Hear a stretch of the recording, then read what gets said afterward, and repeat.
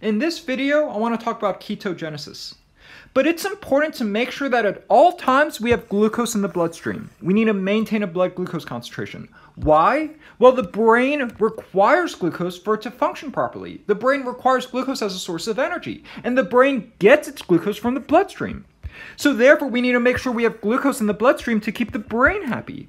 However, what happens if we fasted for a couple of hours and haven't eaten a meal for a while? Our blood glucose concentrations will drop, which is dangerous because now the brain doesn't have a source of energy.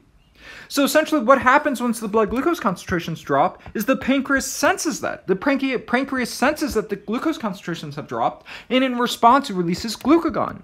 Now, that glucagon works to tell the cells, hey, the blood glucose concentrations have dropped, so we need to find a way to restore those blood glucose concentrations. So, one way we do that is the glucagon first tells the liver to use its glycogen stores to restore blood glucose concentrations. But once those glycogen stores run out, now glucagon tells the liver to go through gluconeogenesis. So gluconeogenesis is when we take these carbon intermediates and use these as a source of carbons to biosynthesize glucose molecules. And again, this gluconeogenesis is stimulated by glucagon. So now the liver is taking these carbon sources as a source of carbons to biosynthesize glucose molecules. Now we're biosynthesizing glucose molecules which we can dump in the bloodstream to keep the brain happy. However, this is an anabolic process. To biosynthesize these glucose molecules, this is anabolic and requires a lot of ATP. So where do we get all the ATP to fuel gluconeogenesis? Well, we need to burn fat. So glucagon also tells the adipocytes to go through lipolysis, where we hydrolyze these bonds, releasing free fatty acids. Now these free fatty acids can enter the liver, particularly in this liver hepatocyte, particularly in the mitochondria. Now, again, now the free fatty acid can enter a process known as beta oxidation, where we essentially take that free fatty acid and oxidize it. When we oxidize it, we create reduced cofactors like NADPH, uh, NADH and FADH2, which can fuel the electron transport chain to create ATP. But the point is, we take these free fatty acids, go through beta oxidation to create ATP. Now we've created ATP to fuel gluconeogenesis. And again, it's glucagon stimulating this process of beta oxidation. But the point is, we burn these fats to create ATP to fuel gluconeogenesis. However, as we go through beta oxidation, we're creating a lot of these acetyl-CoA molecules. As we oxidize these free fatty acids, we create these acetyl-CoA molecules. So what do we do with all these acetyl-CoA molecules? Well, normally what we do is we take acetyl-CoA, bind it with oxaloacetate, and go through the citric acid cycle, go through the Krebs cycle. However, oxaloacetate is one of those carbon sources which are used for gluconeogenesis.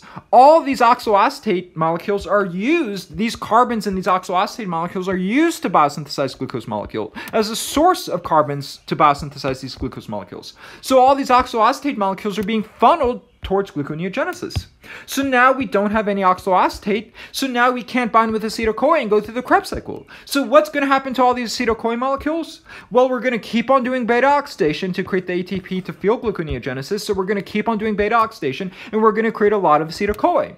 Eventually, the concentrations of acetyl-CoA are going to increase, and then eventually, we're going to go through the process known as ketogenesis, where we take these carbons in acetyl-CoA to biosynthesize keto acids. And again, this is stimu- simulated by glucagon.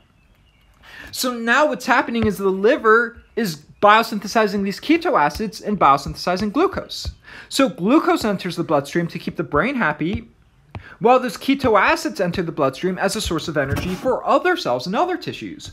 For example, let's say this very generic cell can take these keto acids, convert them to acetyl-CoA, and now this acetyl-CoA can enter the Krebs cycle to essentially create reduce cofactors to fuel the electron transport chain to create ATP. So the point is this cell can take these keto acids as a source of energy to create ATP.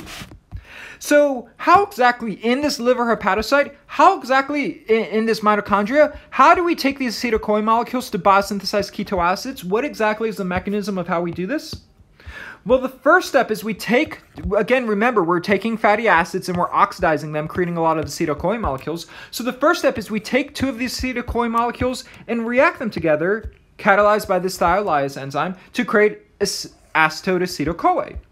And if you're interested in the mechanism, essentially it's a simple Claisen condensation, where essentially we know this carbon has a hydrogen, so we take that hydrogen and we and we essentially deprotonate it. We, we deprotonate this hydrogen and these electrons fall on this carbon.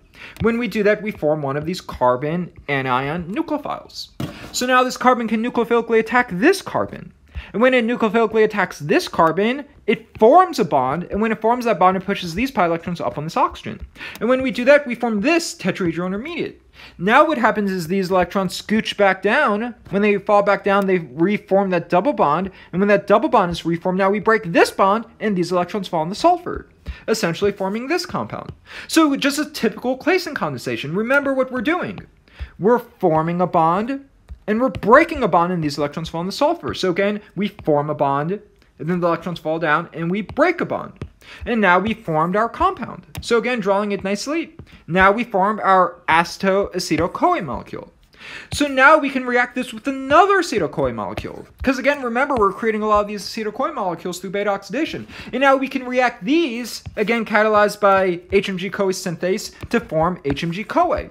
And again, we react these through a simple aldol condensation reaction. So again, we react them forming this compound. And again, if you're interested in the mechanism, again, we deprotonate this hydrogen, the electrons fall on the carbon, forming this carbon anion. So again, now we nucleophilically attack this carbon, forming that bond. So we form this bond, and when we do that, we push these pi electrons up on this oxygen. And when we do that, we form this tetrahedral intermediate. And then again, we form this oxygen anion, which is, is relatively basic. So again, it gets protonated. So now we form this compound.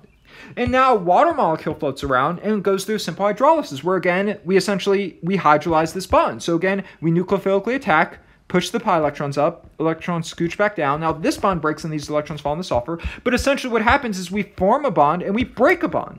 And again, when we do that, we form this compound. So now we formed our compound, drawing it nicely. Now we formed our HMG-CoA. And this HMG-CoA is really important. It, it's essentially a, a branch which can enter different pathways. It can either, this, this HMG-CoA can be used to biosynthesize cholesterol or can be used to biosynthesize keto acids. So how do we use this to biosynthesize keto acids? Well, the next step is we react this HMG-CoA with HMG-CoA lyase to essentially go through a reaction forming this acetoacetate and this acetyl-CoA.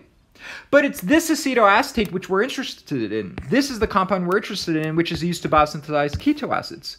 So again, essentially what happens is we take this guy, and it can go through different reactions, catalyzed by different enzymes.